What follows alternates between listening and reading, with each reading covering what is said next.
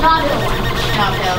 Hey, it did it! Like I can't say like with any honesty that it's anything other than an experiment in how kids learn. Two. I gotta go, I gotta go, I gotta go. And this is different ways that we can approach teaching science using, you know, the design thinking process, using the design process in general, using the engineering process. Design thinking is a process that uses empathy, creativity, and rationality to solve problems. Here.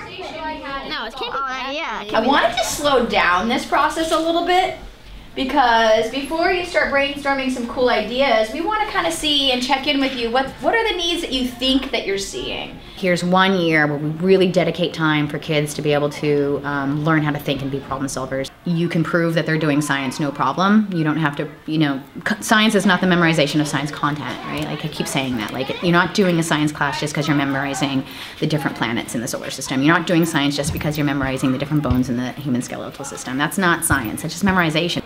The process of science is a process. It's not content. And so what we are doing is we're teaching the process of science. Talk about the criticism, people. We're trying to prove, we're trying to just find proof that it actually can teach science in a way that's more relevant, more engaging, more like real science, um, and happens to be very child-centered.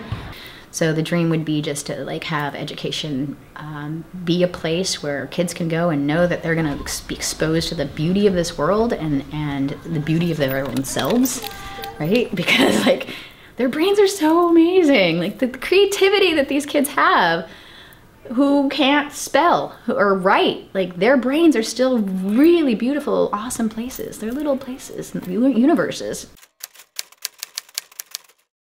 leadership responsibility we're finding out who the leaders are from this exercise oh. you are under a challenge right now We're making them teams based off skills. It doesn't matter. literacy and how to write literacy and how to read Sears is S E A R S. literacy and how to determine a good website source from another, you know, all kinds of literacy. It's just you're getting smarter. Their listening skills are being trained very carefully. Their listening and their observation, they're creating a learning community, right? Where they have to rely on each other. So it could be a skill.